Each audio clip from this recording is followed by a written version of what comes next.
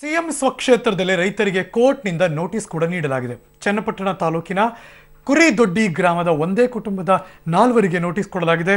ಕುರಿದೊಡ್ಡಿಯ ತಾಯಿ ಶಾರದಮ್ಮ, ಮಕ್ಕಳಾದ ಉಮಾಪತಿ, ಯೋಗಾನಂದ, ಜಯಂತಿಗೆ ಡಿಸೆಂಬರ್ ಒಂದರಂದು ಚನ್ನಪಟ್ಟಣದ ಜೆಎಂಎಫ್ಸಿ ಕೋರ್ಟ್ನಿಂದ ನೋಟಿಸ್ ನೀಡಲಾಗಿದೆ.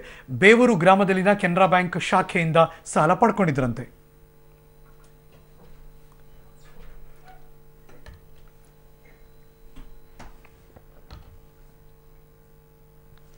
ಮತ್ತಷ್ಟು ಮಾಹಿತಿ ನನ್ನ ಕೊಲೀಗ ಹನುಮಂತು ದೂರವಾಣಿ ಸಂಪರ್ಕದಲ್ಲಿದ್ದಾರೆ. Good afternoon Hanumanthu. Good afternoon Harish ಮುಖ್ಯಮಂತ್ರಿಗಳು ಬೇರೆ ಕಡೆ ಎಲ್ಲ ಮಾತಾಡ್ತಿದ್ದಾರೆ. ಇಲ್ಲ ಹೇಳ್ತಿದ್ದೀನಿ ಹೇಳ್ತಿದ್ದೀನಿ ಹಂಗೆ ಮಾಡ್ಕೋಬೇಡಿ ಅಂತ. ಇದೇನಿದು ದೀಪದ ಕೆಳಗೆ ಕತ್ತಲು ಅನ್ನೋ ಹಾಗೆ? ಎಸ್ ಹರೀಶ್ ಏನಂತ ಹೇಳಿದ್ರೆ ಏನು ಇಷ್ಟು ದಿನ ಏನು ಕೋಲ್ಕತ್ತಾದಿಂದ ನೋಟಿಸ್ ಬಂತು ಬೇರೆ ಕಡೆಯಿಂದ ನೋಟಿಸ್ ಬಂತು ಅನ್ನೋಕ್ಕಾಗದ್ದು ಜೊತೆಗೆ ಇದ್ರ ಬಗ್ಗೆ ಸಿಎಂ ಅವರು ಕೂಡ ನಂಗೆ ಡಿಸ್ಟರ್ಬ್ ಆಗ್ತಿದೆ ನಿಮ್ಮ ಫೋನು. ಮತ್ತೆ ರೀಕನೆಕ್ಟ್ ಮಾಡೋ ಪ್ರಯತ್ನ ಮಾಡ್ತೀವಿ ಹನುಮಂತು.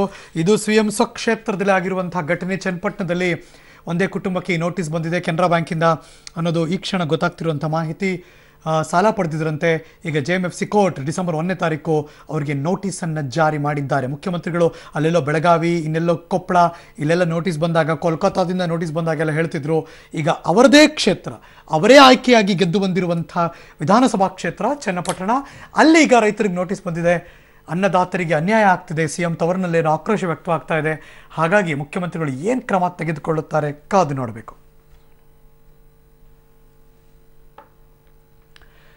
ಕುರಿದೊಡ್ಡಿ ಗ್ರಾಮ, ಇದು ಚನ್ನಪಟ್ಟಣ ತಾಲೂಕಿಗೆ ಬರುತ್ತೆ. ಅಲ್ಲಿ ಕುಟುಂಬಕ್ಕೆ ನೋಟಿಸ್ ಕೊಡಲಾಗಿದೆ.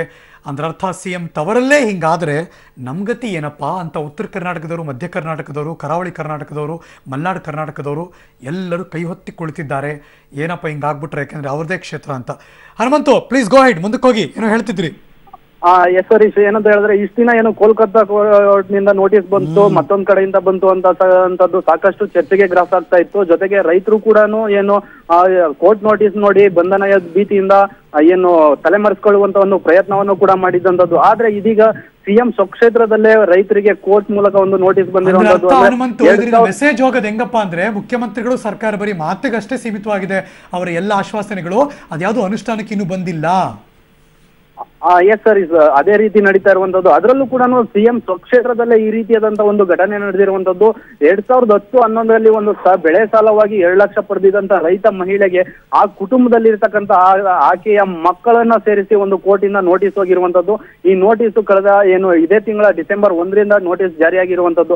ಕೋರ್ಟ್ನಿಂದ ಬಂದಿರತಕ್ಕಂತ ಒಂದು ನೋಟಿಸ್ ಅನ್ನ ನೋಡಿ ಈಗಾಗಲೇ ಕುಟುಂಬದವರು ಸಹ ಸಾಕಷ್ಟು ಭಯಭೀತರಾಗಿರುವಂತದ್ದು. ಏನು, ಟಿವಿಗಳಲ್ಲಿ ಈಗಾಗಲೇ ನೋಡ್ತಾ ಇದ್ದೀವಿ. ಬಂಧನದ ಭೀತಿ ಎದುರಾಗಿ ರೈತರು ಕೂಡ ತಲೆ ಮರೆಸ್ಕೊಂಡಿರುವಂತಹ ಒಂದು ಪ್ರಯತ್ನವನ್ನು ನಡೆಸಿದ್ದಾರೆ. ನಾವಿವಾಗ ಯಾವ ರೀತಿಯಾದಂತಹ ನಮ್ಮ ರಕ್ಷಣೆಯನ್ನ ಮಾಡ್ಕೊಬೇಕು ಅನ್ನತಕ್ಕಂಥದ್ದು ಅವರು ಪ್ರಶ್ನೆ ಮಾಡ್ತಾ ಇದ್ದಾರೆ. ಜೊತೆಗೆ ಸಿಎಂ ಕ್ಷೇತ್ರದಲ್ಲಿ ನಮ್ಗೆ ರಕ್ಷಣೆ ಸಿಗ್ತಾ ಇಲ್ಲ ಅನ್ನತಕ್ಕಂಥದ್ದು ಕೂಡ ಅವರು ಅಳಲಾಗಿರುವಂತದ್ದು Harish. Thank you so much Hanumanthu. ಈ ಕ್ಷಣದ ಮಾಹಿತಿಗಾಗಿ.